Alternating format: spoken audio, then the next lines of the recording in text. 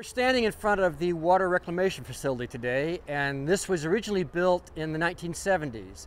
Uh, the last upgrade was in the early 1990s. Uh, today, this facility handles around 3 million gallons of wastewater every day.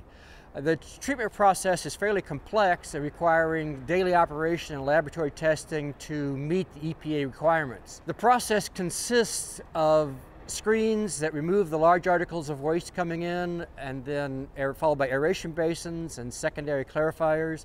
We have effluent filtration and disinfection and finally discharge to the creek. The areas of the new construction include new aeration basins, new clarifiers, and adding a computer controlled monitoring system. This expansion project will simplify operations, increase efficiency, improve water quality, and upgrade the city's infrastructure for future growth. The expansion project is expected to be completed by May of 2016.